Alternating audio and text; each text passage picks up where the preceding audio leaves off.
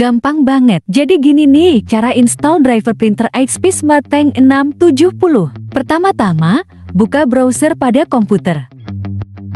Selanjutnya, ketikkan download driver printer XP 670.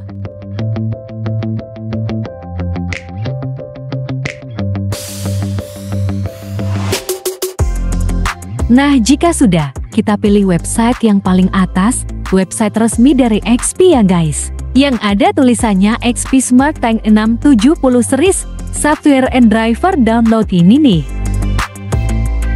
Pada halaman ini, geser ke bawah sampai ketemu dengan installation software and driver include print, scan, latest features and solutions berikut ini nih.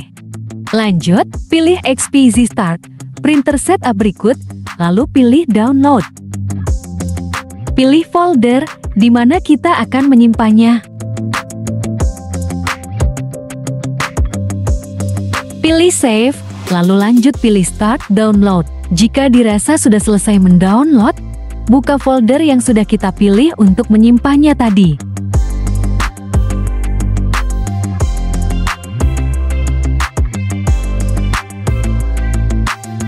Nah, selanjutnya, install driver dengan cara pilih dan klik kanan, lalu pilih Run as Administrator.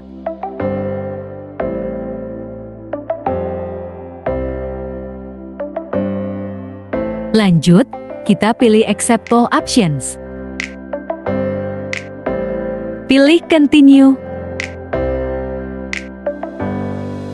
Nah, jika ada keterangan printer not found atau printer tidak ditemukan seperti ini, lanjutkan pilih opsi yang New USB Printer lalu pilih Continue.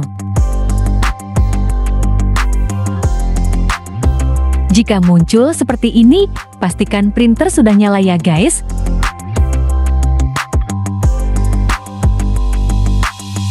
kemudian cabut dan pasangkan kembali kabel USB pada printer dan komputer.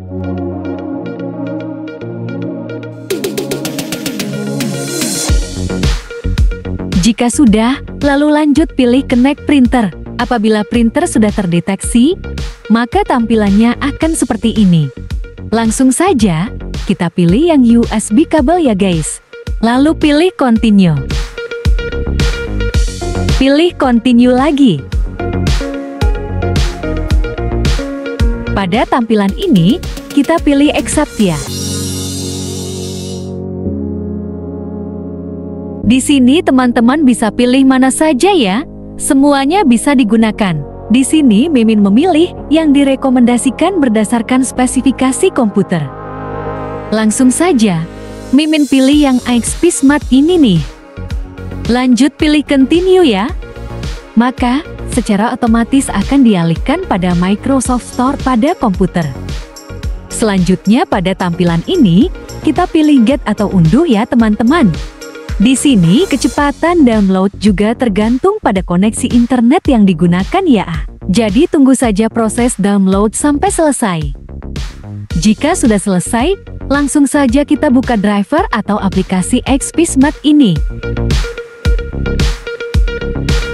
Kita pilih Accept All. Pada tampilan ini, kita pilih Skip for Now ya guys.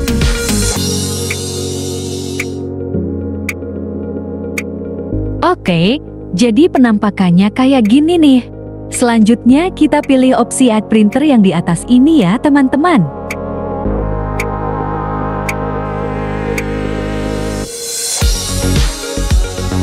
Nah, jika sudah terdeteksi seperti ini, langsung saja kita pilih printer dan printer sudah siap untuk digunakan. Biar tidak mengganggu, kita close atau minimize saja halaman browser sebelumnya. Kita akan coba tes print gambar ya guys. Pada tampilan ini, kita pilih print foto. Selanjutnya, pilih dokumen atau gambar yang ingin di print.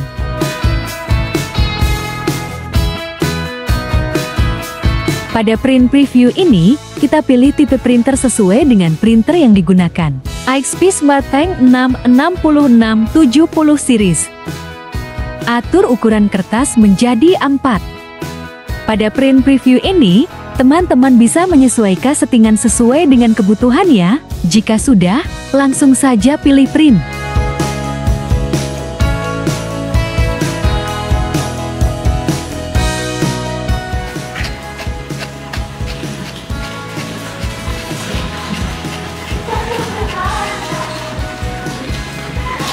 Nah, kurang lebih hasil cetaknya seperti ini ya guys. Lanjut, kita akan coba scan nih, masukkan gambar pada scanner glass printer.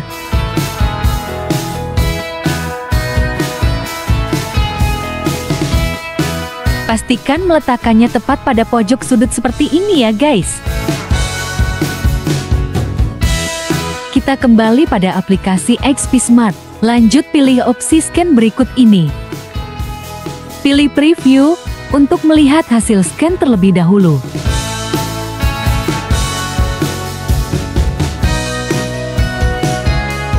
Nah, kurang lebih hasilnya seperti ini guys. Apabila ingin menyimpannya, kita pilih scan.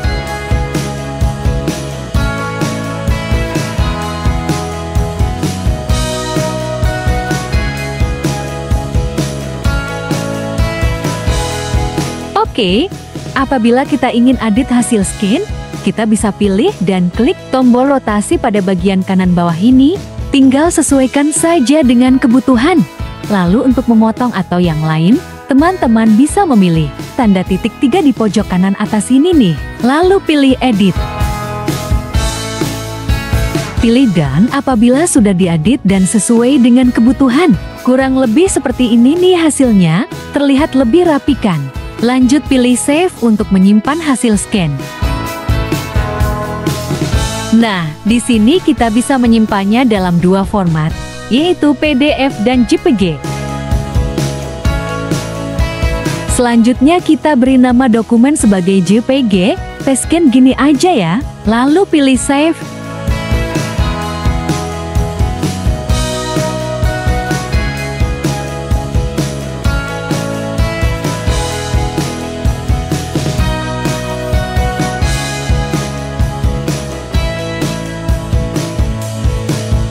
Nah, ini dia nih hasil scan kita tadi.